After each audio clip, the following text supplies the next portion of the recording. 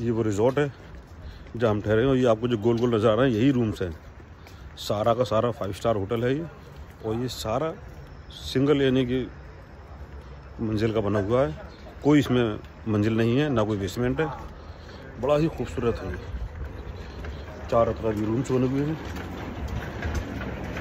देखिए आप, देख सकते हैं। वॉलीबॉल खेलने तक का स्टेडियम है, स्विमिंग पूल है, सब कुछ बना हुआ है। देखिए, ये रूम्स पीछे मेरे ये सामने रूम्स ये रूम चारों तरफ़ इसी तरह का बने हुए बिल्कुल ऐसा लगता है किसी मोहल्ले में रह रहे हैं। ये देखिए रूम्स ये सारा फाइबर का होटल है पूरा। पूरा होटल फाइव स्टार का जो है, ये ये फाइबर से बना ये देखिए। सब चीज़ फाइबर की है इन टोटल फाइबर कोई दीवार नहीं, कोई लैंडर नहीं।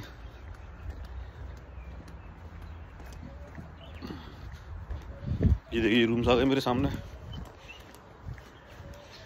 सारे गिलास डोर है और इनकी एक साइड जो है ये बागीचा दिया हुआ है राउंड में जो है, यानी चारों साइड में राउंड में इसमें रूम्स बने हुए हैं। सिंगल फ्लोर हाँ सिंगल फ्लोर हमारे साथी जा रहे हैं ये पीछे, बुज़ुर्ग हमारे।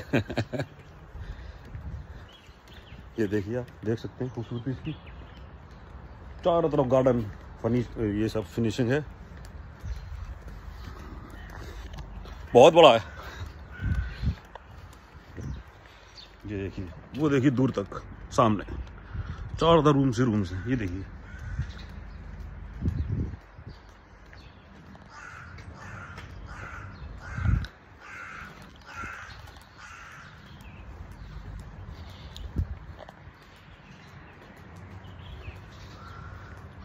और ये सामने मेरा रूम आ गया। टू सेवन ज़ीरो वन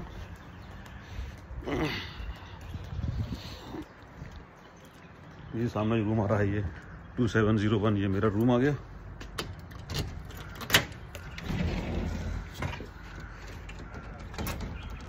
ये सामने वॉलीबॉल खेलने के लिए बना हुआ है ये। ये देख सकते हैं आप। बास्केटबॉल बॉल सॉरी वॉलीबॉल नहीं बास्केटबॉल वॉलीबॉल का वो सामने है। इसमें की डालेंगे तो ये लाइन चालू हो जाएगी। लॉक हो गया ये। ये देखिए, ये रूम्स है। आप देख सकते हैं। ये मेरा सामान रखा हुआ है, ये बेड है एक। टेबल लैम्प दो बेड है, काफ़ी बड़े बड़े बेड इसकी फिनिशिंग सामने की देख सकते हैं आप। रेड फिनिशिंग ये खूबसूरत दी हुई है इन्होंने। टॉयलेट है इसका। ये देखिए, वो नहाने के लिए टब दिया हुआ है, गिलास लगा है, और ये टॉयलेट है। एक करने के लिए दूसरी धोने के लिए।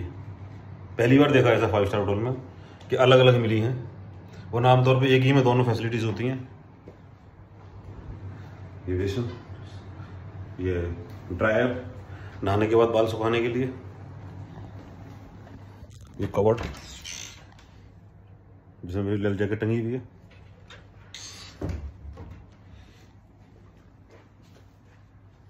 बाय